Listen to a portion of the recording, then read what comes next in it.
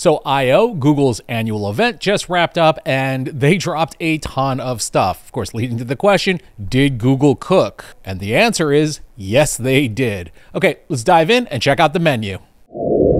Now, as usual with the I/O event, it was a bit of a sprawling info dump. Although, to their credit, it did feel a lot more coherent than last year. And look, I'm saying that as a big fan of Loop Daddy. But if anything, I think this really showcased exactly how gargantuan a beast Google really is. Now, for this video, I am going to be mostly focusing on the creative generative AI announcements at I/O. Although I would be remiss not to mention a few other cool things that they announced announced there, uh, such as Google Beam. This one is definitely not consumer focused. Uh, essentially, it is a large display monitor with uh, six cameras attached to it that uh, essentially capture you in 3D and kind of create a Gaussian splat, I presume, of you and your background as well. From that point, uh, the image is then, you know, essentially transmitted to another Google Beam, uh, and you know, it would be sort of like you're looking through a window and having a conversation with a person on the other end, uh, sort of in a 3D space. Um, yeah, could be pretty interesting. AI search was a big part of the presentation this year. I guess, you know, kind of merging Google's past with their future. I actually have had early access to this and been playing around with it a bit. It's it's pretty good. Um, you know, for example, if I search up best microphone for YouTube video, it should come up with the Shure SM7B, uh, which is the mic here. Uh, let's go ahead and run a search and see what we get. And sure enough, we end up with results actually with three different uh, you know price points, essentially beginner budget friendly, a mid range, uh, and then at the professional level, uh, the Shure SM7B uh, is there. Uh, I, I don't I don't spare any expense for you guys. And later on in this video, I will really be putting my money where my mouth is. Uh, yeah, we'll talk about that in a minute. Lots of Gemini updates. I will admit that the naming conventions there are getting a little bit out of control. But the two most interesting aspects to me in like this area were definitely uh, the personalization aspect, which is something that they did make very clear that you can opt in or out of, but essentially would allow Gemini to kind of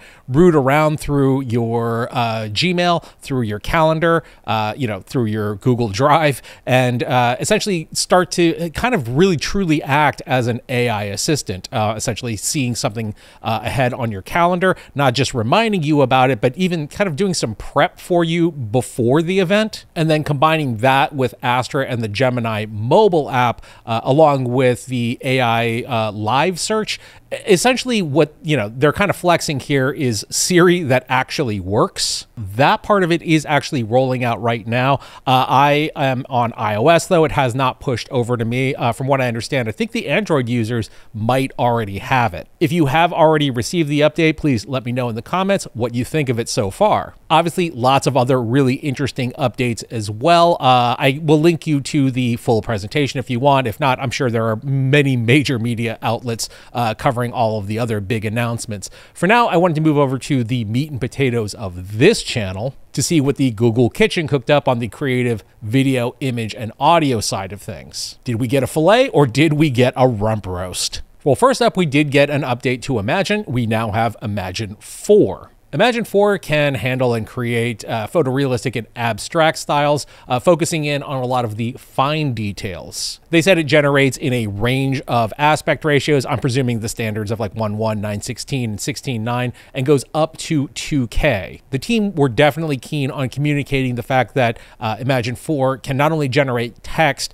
uh, obviously, you know, without a lot of misspellings, uh, but do so in, you know, really interesting typography and stylistic ways. I'll do a full run through on Imagen 4 later on this week. I definitely want to spend some time with it to see, you know, what it's good at and where where it might be like kind of lacking a little bit. I will say I have been super impressed with Imagen 3, much more so than 2. The other thing that we learned is that Imagen 4 is fast. Uh, apparently faster than Imagen 3, which I mean, that was pretty fast to begin with. Uh, that said, apparently they will also be releasing a turbo version of Imagen 4 uh, that will generate 10 times faster than uh, Imagen 3. That said, I'm not sure what the quality hit is going to look like. I'll definitely look at that when, when we get a hold of it. On the music side of things, we did get uh, apparently an update to Lyria. They really did not spend a lot of time on this But interestingly, beyond kind of like the standard update stuff, uh, like you know higher fidelity music, um, you know they're saying now uh, professional grade 48K uh, stereo audio. Although I think Lyria One was at that as well.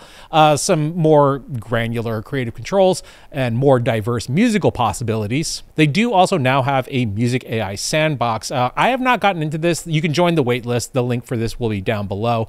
Um, yeah, this might be interesting. I, I don't. Uh, I'm not in, so I don't know how it works yet, but um, you know, so yeah, waitlist alert, I guess. But then, of course, it was time for the main course, which of course is Veo 3, which was not only announced but released as well.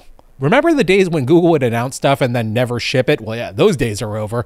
Uh, yeah, Veo 3 obviously has updated from Veo 2, uh, this time offering greater realism and fidelity. Presumably, physics are better. Uh, it will output at 4K, and that's only the beginning. We also have our usual model updates like improved prompt coherence. Uh, for example, here we have a delicate feather rests on a fence post, a gust of wind lifts it, and sends it over. Well, I mean, you can see it. We now have camera controls built into Veo 2, move back, zoom in, move up, move right. Uh, this is all, you know, fairly typical stuff first frame and last frame is now available both, I believe, on Veo 2 and in Veo 3 So this is definitely a very nice feature to finally have. We do also now have outpainting as well, uh, essentially frame extension. Uh, they do only showcase this in 16.9. I'm not sure if it's capable yet of doing uh, 9 by 16, but uh, I mean 16 by 9 is my jam anyhow. And we now have in painting as well, or essentially being able to add something in to a pre-existing video uh, and have it, you know, contextually make sense within the frame. We also now have character controls via driving video. This is something, uh, you know, somewhat similar to uh, Runway's Act 1. Uh, essentially, you can provide driving video of performance, an input image, uh, and then an output video. Now, granted, Act 1 uh, can actually paste that performance on, uh, you know, driving video as well. In the case here, we just have an input image. Still, it looks really great. We also have kind of an elements feature as well, uh, where you can provide uh, essentially, you know, a character and a location. And uh, we sort of saw this on the still image side with Whisk. Uh, essentially, you can prompt and blend those two together. Obviously, this is a very big deal for consistent locations and consistent characters. So I'm very excited to try this out. But saving the best for last, uh, probably the most insane thing is that we can now generate sound effects and dialogue directly in Veo 3. Uh, let's take a look at this. This ocean, it's a force, a wild, untamed might. And she commands your awe with every breaking light. I mean, that is pretty crazy. Not only did it generate essentially the, the background sound of the ocean, kind of. I mean, it sounded a little bit more like a splash, I'll give you that. But the important part here is that that dialogue and, you know, the lip sync, eh, the performance, everything, that was all wholly generated via a prompt. That's crazy. Here's another quick example of dialogue in action. According to this old sea chart, the lost island isn't myth. We must prepare an expedition immediately. Another example from my beloved uh, espionage spy genre. The microfilm is in your ticket. They're watching the north exit. Use the service tunnel. Remember when people said it's just not there yet? Well, yeah, I mean, it's there now. And then my favorite example, not only combining dialogue but sound effects. Where were you on the night of the bubble bath?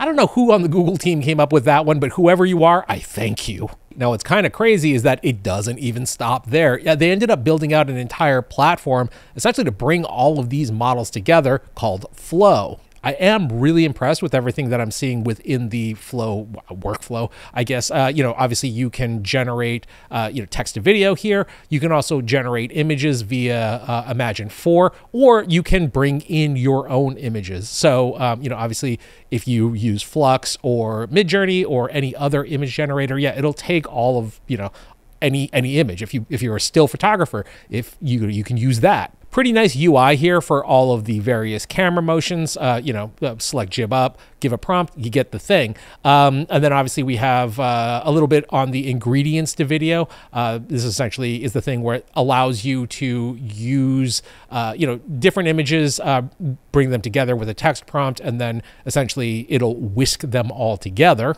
We have this new scene builder function as well, which kind of uh, functions a little bit like Sora storyboards, but seems to be a little more well thought out and actually like useful. Um, in the case, you know, here we had, uh, you know, our our playhead was uh, on one location. We can do a jump to and create an entirely new cut here. You can pull things back and then do an extend on top of it. So if a generation isn't going in a direction that you want it to, but say the beginning was good, you can pull it back and regenerate the later half of it. Now that is such a big deal. I don't know how many times that we've run across like, you know, an eight to 10 second long generation where, you know, the first five seconds are great and then that back half just goes super wonky.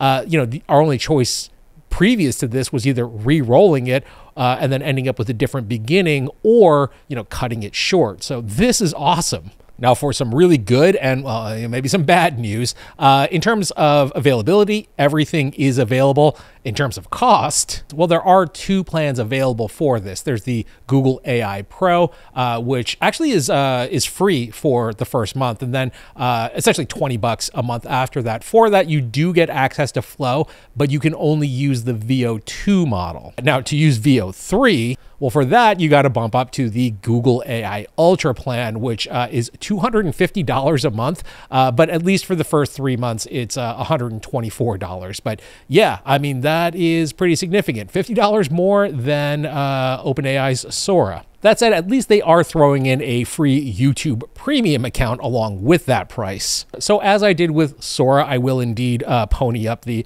$124 uh, and test out Flow with Veo 3 later on this week. I will do a full run through of it. So please do hit the like and subscribe button down there so I could subsidize the cost a little bit. Uh, and in the comments, if you have anything that you want me to try out, uh, definitely let me know. Lastly, while I was making this video, yeah, uh, Google Google sent me a shirt. So um, thanks, thanks Google. Yeah, the doorbell rang. It was like a UPS guy. Was not expecting that. I mean, it's not going to affect my ultimate review. I do promise you that. Uh, but yeah, I guess in the meantime, uh, I'm going to get to testing Veo 3. Keep an eye out for that video. In the meantime, I thank you for watching. My name is Tim.